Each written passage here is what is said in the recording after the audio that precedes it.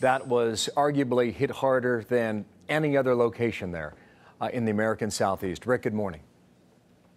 Good morning, Bill. Yeah, 210 fatalities in Alabama alone. That's the latest number. Do expect that number still to change.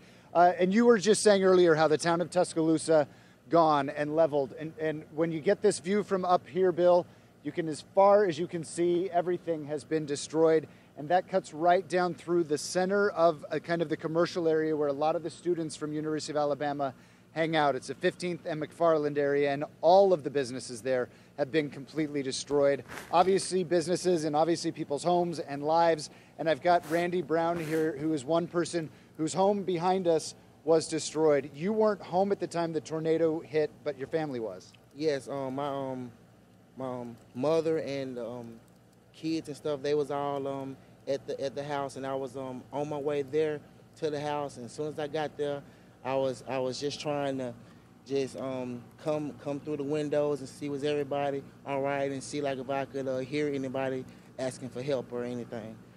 And everybody was okay miraculously, even though the house was destroyed. Yes, um, every everybody made it out, out of the house fine. My um my my mom, she just had like some um scratches and scrapes on her on, on her legs and stuff, but um every, everybody made it out on fine.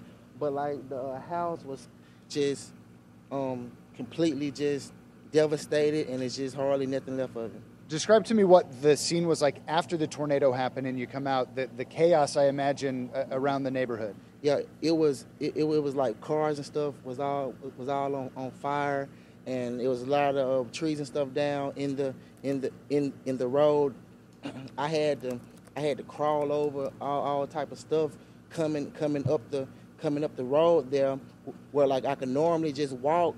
I had to crawl over cars and power and, and power lines and like the the, the uh, sewer the sewer pipes was just squirting out water everywhere, so it was hard. And Randy, where do you go next from here?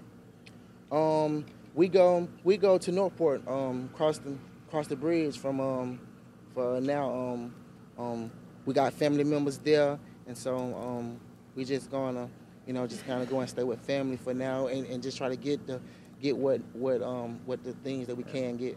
All right, and that's what a lot of people are doing now, Bill, sifting through all of this, seeing if there's anything they can salvage and, and take with them to the next place they're going to go, and they have to figure that out now. Yeah, so. your, your picture is remarkable down there, Rick, and his story, that gentleman there you're talking to, is just one of tens of thousands